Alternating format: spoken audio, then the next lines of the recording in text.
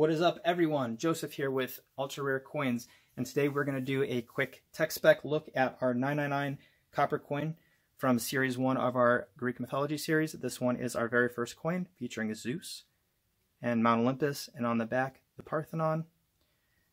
So quick check on the caliper. These guys are running at 45 in diameter and 6.5 millimeters thick.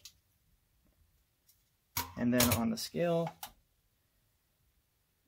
they're clocking in at about 1.2 ounces. And then these are our gold foil certificate of authenticities. It is numbered of 300 on the first minting of the copper coins. And these are 4x6. So if you guys have a nice uh, plaque in mind or display piece for these, um, you can take it out of its poly here we put in these to protect them and go ahead and mount it on your desk, um, your mantel place, something like that. We would be very honored. And if you do come up with something creative, uh, we'd love to see what you came up with. Please tag us on social with the photos.